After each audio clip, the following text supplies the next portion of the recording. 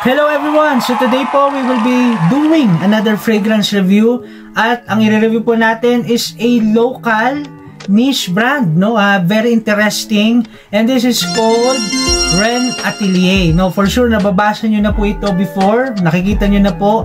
Kamusta po ba ang Ren Atelier? Yan po yung ating sasagutin sa video na ito. Stay tuned po! Ayun, so again, no guys, ang i-review po natin is Ren Atelier, no? This is again a local niche brand, no? Uh, matagal ko na po itong nakikita, nababasa sa groups at talagang last year pa po akong interested na matry ito and finally, we are here. I'm so excited yes! to share to you my thoughts, no?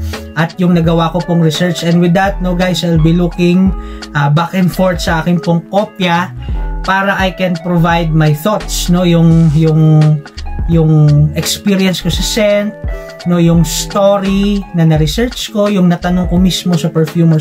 So anyway, uh, Ren Atelier, no, ang Ren, no, uh, so W-R-E-N, ni-research ko po sa kanilang website. Sabi po dito, a Ren is a bird that is rarely seen. No, and seeing a Ren, the bird is symbolic of being creative, adventurous, and bold no so again guys no the creative freedom the artistic expression that is uh, uh, most of the time seen po sa mga niche brands no so anyway guys I am proud to present no uh, yung perfumer po nito is Sir Renato Lopena Jr. No? So, Sir Renato Lopena Jr. no uh, nasa frag groups po si Sir Renato no and his wife no mamaya ilalagay po natin yung link no ng kanilang page and everything else sa description box. So anyway, Sir Renato Lopena Jr., uh, the, the perfumer, the owner, the manager, he is guys no the first Pinoy certified natural perfumer and or perfumotherapist. So nakaka-proud no, nakaka-proud na finally ay matatry ko na yung kanyang at marireview ko na po sa inyo yung kanyang creation. So, uh, before anything else guys, no, uh, let me show to you yung aking pong nakuha. So, uh, actually, uh, hiniram ko lang po ito sa aking friend. Uh, he is generous enough wow. para magpahiram. Shout out no kay Kevin Opulensya, aking kapatid, uh, kaibigan, sa Baguio Frog Heads, no? Thank you bro sa pagpapahiram. And guys, no, uh, para sa mga hindi nakaalam sa Scent Hound, no? So, baka ito daw yung maging freebie, no? So, nakaka-excite. And, uh, thank you so much, bro. Shout out sa Scent Hound. Guys, again, if you are looking for rare na mga niche perfumes, niche houses, please contact Scent Hound. Ilalagay po natin din yung link ni Kevin at ng Scent Hound below. So anyway guys, ito pong pinahiram sa akin ay discovery set. No, actually yung kanila pong full bottle if if uh, you would look at the website, you could get that for around 3,500 I believe. Pero yung pinahiram po sa akin is the discovery set. No, so uh, Let me show to you. This is the pouch of the Discovery set. Of course, may box pa po yan, no? Uh, a very elegant box, no? And this is a leatherette pouch, no? At ganito po yung uh, presentation ng kanila pong vials or samples, no? So, I have six here. No, actually, may uh, meron pa pong ibang ni-release si si Sir Ren, no? Uh, pero I believe mga limited edition lang yan like yung last year no uh, meron po siyang ni-release. And of course the bespoke uh, scents no where you could uh, request for perfumes no the notes and the accords and everything else that you would like uh, to smell in your own perfume. So anyway guys I have six here. And please bear with me. I would like to share to you my research, my thoughts, no, the notes, no. And nakaka-proud lang guys, no, nasa Fragrantica na po itong uh, Ren Atelier, no, you could check them out. No, so yun guys, uh, shout out kay Sir Renato Lopena Jr. Shout out sa Ren Atelier and your team. I'm so proud of you and again, katulad ng sabi ko po sa inyo sir, it is an honor no to finally uh, matry at ma-review yung inyong product. So, guys, no, without further ado, uh, i-review na natin. So, number one, I have here uh, Hacenderos, no? Hacenderos. Okay, so Pilipinong Pilipino, no? So, uh, this is a preservation of and uh, a showcase of our culture no uh, napakagaling and of course the personal experiences of Serenato okay so anyway Hacenderos ang nakalagay po this is uh, his homage no to our farmers and farmland owners no and if you would look at the accords of course ilalagay po ulit natin yan somewhere here as always no so this is aromatic fresh, spicy, woody, and citrusy. And the notes are, lalagay din natin dito, lemon, rosemary, cypress, clove or flove. Uh, I hope I'm not butchering the, the name, no? But anyway, uh, you could see it here. And leather. At meron pa pong iba, lalagay na lang natin lahat dito. Para po sa akin, ito pong hacienderos. No, this is uh, yung pinaka-fresh siguro sa buong collection ano and sa top guys no if uh, I could uh, summarize yung experience ko. Sa top may blast ng citrus from the lemon. But the artistic thing here no uh, it is immediately met with this evergreen herbal effect no ng rosemary. So so uh, usually po kasi guys no uh, pag nakakaamoy po kayo ng mga green perfumes, no? Or even any citrus top ng perfumes, ano yan eh, blast talaga yan, no? Parang kinukumpleto niya yung, yung buong experience ng citrus, no? Pero po dito kakaiba. No, yung, yung lemon, uh, may blast na ganun, pero uh, right away, no, meron kang uh, ma-detect na rosemary. And this note called Agathosman. No, actually, uh, once ko lang ito nakita sa note na ito sa isang perfume. And this is Kilian's Love Don't Be Shy if you have tried that before. So anyway, that's an evergreen, uh, uh, herbal, herbaceous kind of note. And it beautifully transitions to cypress. No, so cypress, parang pine, no, green, no, at uh, calming pa rin siya as it is cradled by the warm and green lemony effect ng geranium no? Uh, uh, ma, madalas pong gamitin yung geranium na note no? So uh, you could imagine na green siya no? Pero uh, hindi lang siya basta green note no? Na na usually naamoy po ninyo sa sa mga designer perfumes. Definitely it is a niche kind of green na perfume, no? And uh, this is interesting kasi nagsimula siya sa fresh and green and all na para siyang dayami, no? Alam niyo uh, kung narinig na po yung dayami, no? Na para bang uh, uh, after some time para siyang nabasa na dayami parang imagine po try to picture uh, yung nabasang dayami dahil sa ulan No, tapos after some time biglang tumirik yung araw. No, so parang ganun yung na-imagine ko. And sa base, you would detect the smoky and the woody effect of clove or flove, no, and leather comes in, no. So may smoky effect siya. Para kang siguro no uh, kung ako po no uh, nandoon sa scenario kasi ang galing ang galing po nitong Renatelier no they are trying to paint this picture sa mind mo no? At uh, parang parang na-take ako doon mismo sa sa scene na yun no? so anyway uh, para ako nasa kubo no? Uh, maliit na kubo sa isang sakahan. Tapos na-experience ko yung umulan no? Tapos yung araw parang na-experience mo yung nagsusunog ng dayami no parang nakikita mo yung farmers na pumunta sa sa sakahan tapos at the the end of a hard day's work no uh, sila po ay nagpapahinga nakikipagkwentuhan sa sa farm owner habang umiinom ng malamig na tubig no so uh, lahat po ito nangyayari sa dapit hapon napakagaling lang napaka-artistic, napaka-creative.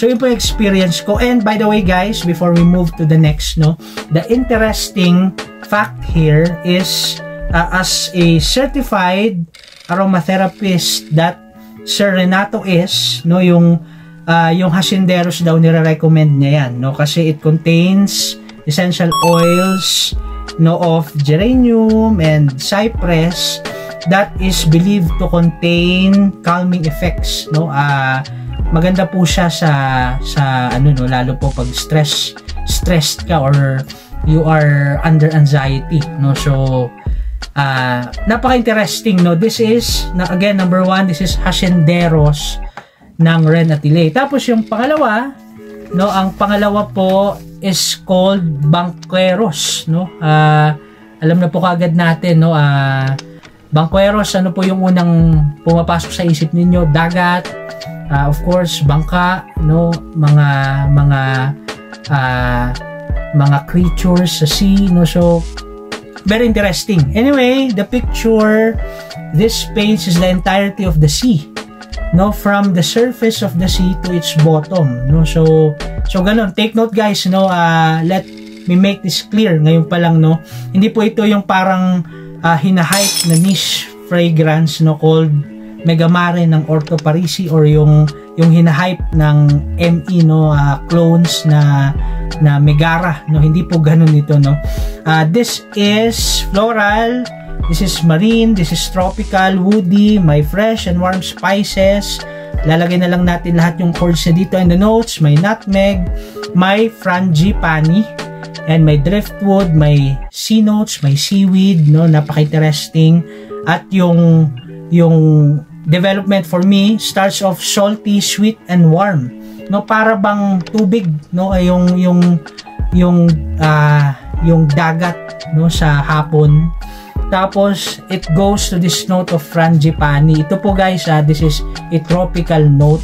No, imagine yung yung richness and and uh, yung dense yung fruity effect ng ng jasmine lalagyan mo ng vanilla tapos may coconut, no? Uh, and uh, after some time, pumapasok po yung aquatic woodiness ng driftwood.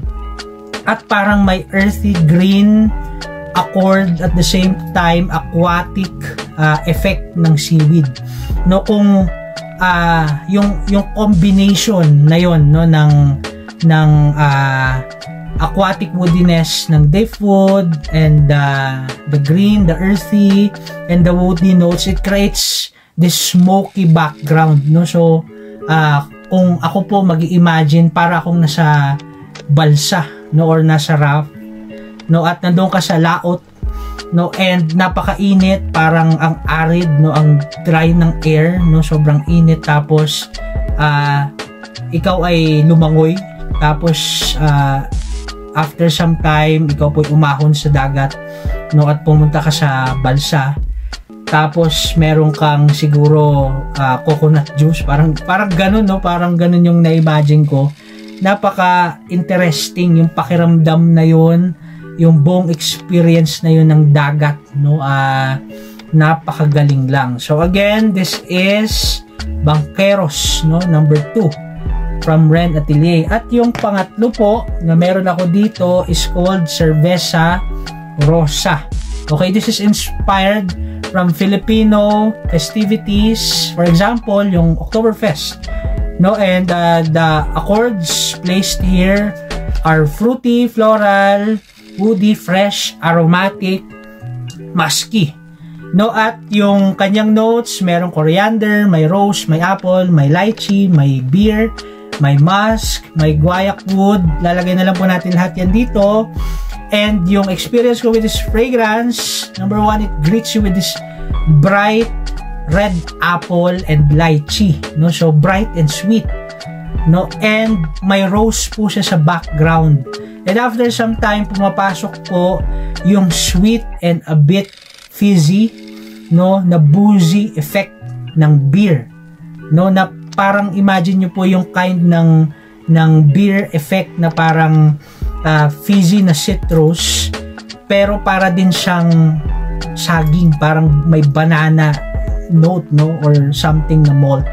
And it goes sa dry down, nagiging musky siya, nagiging woody, most probably because of the guayak wood. No, I can imagine guys, no, uh, uh, talking about festivities, no, I can imagine no na para bang nasa nasa baryo no? May piyesta at uh, naamoy mo yung prutas, naamoy mo yung yung uh, serbesa, lahat po yung combination na yon no? So it is just light festive lang yung mood no? Ng ng fragrance na ito. So this is cerveza rosa.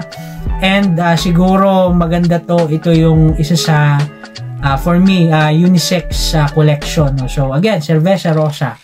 At yung pang-apat po na meron ako dito is called Valensol Romance no? Valensol Romance sinanong ko actually kay Sir Renato kung ano po ba ang kwento ng Valensol Romance so sabi niya he was kind enough no para po ikwento sa akin sabi niya ay this was a prenup photo shoot uh, na ginawa po nila sa France and they stayed sa Valenzoll.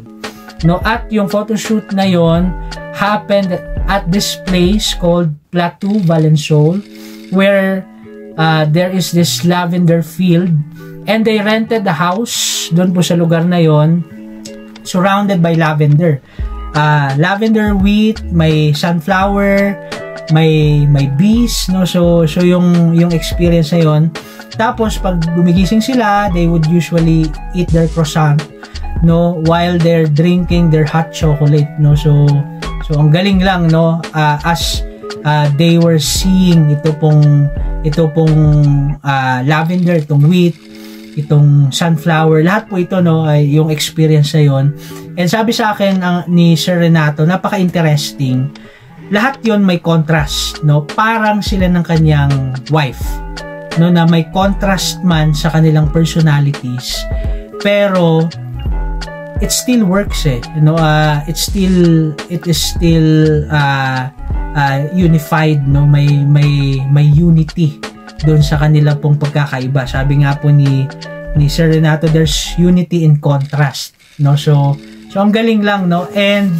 going po sa sa accords niya this is sweet uh, may honey may uh, may freshness may warm spices may chocolate may lavender definitely gourmand ito po yung gourmand uh, entry kumbaga ni Sir Renato sa sa collection na ito and the notes are chocolate butter sunflower honey lavender wheat hay and beeswax So yung experience ko, it greets you with this battery na chocolate. No, nung una po akala ko yung direction niya kasi po yung una niya para siyang blast ng bittersweet na chocolate. No, pero uh, nung una yung akala ko yung direction na tatahakin niya parang Black Phantom ng kill yan, no? Uh, naalisin mo lang yung yung ram, no? And yung yung heliotrope. Pero iba po pala no ang nangyari po dito uh, para siyang para siyang fina-fasten kaagad no minimit kaagad ng ng honey no at ng vanilla no and uh, yung combination po ng honey ng butter ng chocolate uh, ang interesting po dito sa experience ko pag sa malayo para siyang amoy milk chocolate no pero pag ilalapit mo siya no uh, nag-iiba po yung amoy niya eh. Uh, definitely it is it is, may may vanilla no pero not milk chocolate talaga no straight up. Alam mong honey yon na may beeswax na note no. So ang interesting. So basically chocolate siya with a dense and powdery sweetness. I can imagine no uh, para po sa akin no I can imagine a rainy uh, ba, uh, Baguio in the evening at ako po ay nagchochokolate sa isang cafe no sa sa teachers camp no. Uh, actually meron po kaming madalas na pinagaganapan ng sniff session called La Casa Bianca. Uh, gusto ko lang i-flex yung kanilang malagos na chocolate drink no napakasarap. Parang ganun yung imagination ko. Tapos umuulan ng gabi nakatambay lang ako doon no nag nag uh, nagre-relax nag-chill no parang parang ganun yung imagination ko. So this is um Soul Romance and uh, siguro I would like to make this comment. Actually po merong nagsabi sa akin no na parang close to sa Al Rehab's Choco Mask no? Actually yung Choco Mask po it is hyped in the community. Sa sa ngayon no? Lalo po last month I believe no? Pero uh, I I get the comparison no? Dahil sa chocolate use no? Pero definitely mas complex po yung Valen Soul Romance. So again that's Valen Soul Romance from Ren Atelier at yung panglima medyo malapit na po tayo matapos panglima ay Manila Oud no so Manila Oud According sa official site nila, this is a fra fragrance that talks a little bit about the history of the Philippines with Magellan's discovery and the spread of Christianity. And the accords are leathery, woody, animalic, smoky, warm, spicy, ambery. Tapos yung notes, may calamansi, very interesting, banana, may elemi, leather, wood, amber, makikita po natin yan.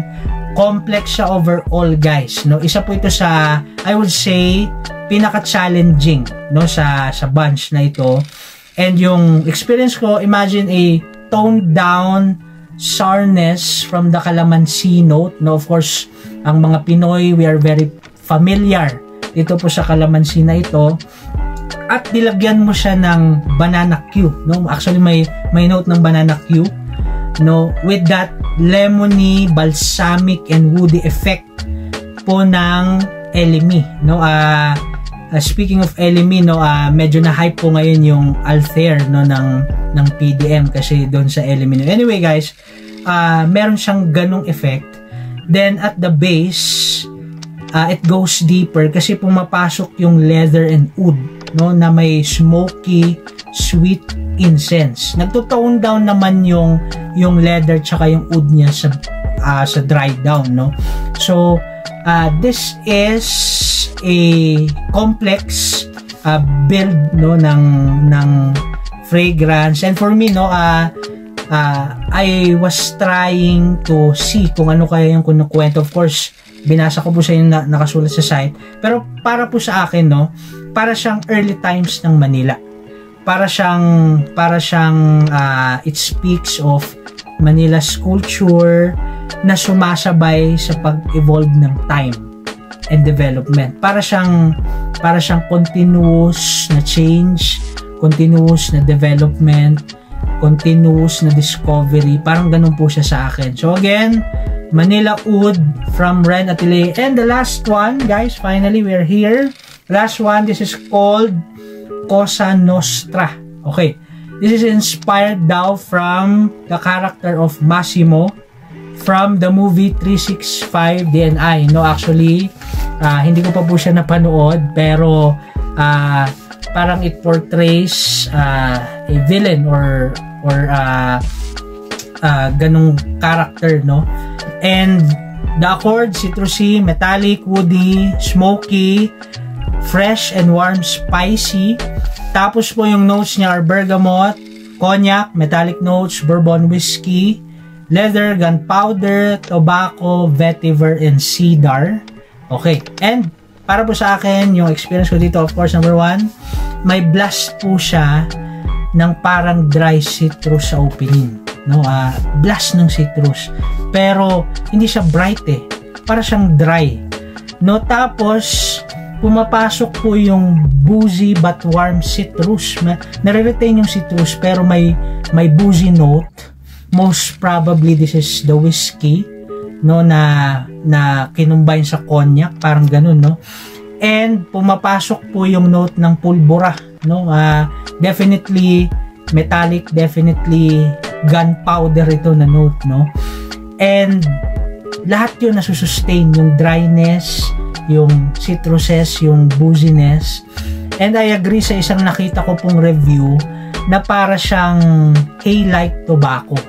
No? At uh, yung yung kanyang mid no uh, yun yung yun yung development and going sa base no ah pumapasok po yung maraming smoky, earthy, and metallic powdery na kind ng citrus. Most probably this is vetiver at its driest, no? Ito po yung pinaka-earthy na pwedeng maabot ng vetiver kasi po it is also enhanced by cedar, no? So, very interesting no uh, I I was trying to imagine no yung yung picture I I can imagine a mafia no or gang ng 40s or 60s sa perfume na ito. Yung yung image na naka all black no? Or yung yung brown yung yung cream na overcoat na may sunglasses sa gabi na may na may sukbit ng mga ng mga 357 na revolver no? At madalas na sa hideout nila yung hideout nila social no? And pag pumasok ka sa hideout nila you could detect the tobacco and the booziness and the smell of cards in the air no definitely confident no definitely sexy no napaka tindi ng perfume na ito and for me ito po yung pinaka challenging dito po sa anim na ito na nireview ko. So, anyway guys, ito po yung anim no uh, nakaka-proud no. Actually, napahaba na tayo pero nakaka-proud lang. And if you would ask me uh, for the performance, no, uh, uh, of course, Niche House, I'm more into the creative side of it, the story, the the background of it, no. Pero uh, if you would ask me uh, kung sino yung pinaka-performer sa skin ko, para po sa akin si Cosa Nostra. No, and Vanilla Oud. Tapos humahabol din si Valensoul Romance. No, I'm not saying na dahil sila yung pinaka-performing, eh, underperforming yung iba. Above average pa rin yung iba. Pero para sa akin, ito po yung pinaka-okay. And kung tatanungin po ninyo ako, kung ano yung favorites ko, definitely Cosa Nostra because of that animalic touch to it. No, the the beautiful use of gunpowder and leather and wood. And ang isa pa pong favorite ko siguro would be Valensoul Romance, no? Aside from the scent profile itself, yung story behind no gustong gusto ko. So, anyway guys, napaka tindi, napaka galing lang ng ng perfumer ng Ren Atelier and your team. Again, shout out to you po sa Renato Lopena Jr ilalagay po natin lahat ng page nila ng, ng link nila below uh, maraming salamat po I hope na somehow ay nabigyan ko po ng justice no kahit papaano yung pagre-review ko po sa inyong perfumes. Guys, maraming salamat po ulit for tuning in and again, if you find this content interesting and helpful, please do consider liking, sharing, and subscribing. Ayan, maraming salamat po. Ingat po kayo.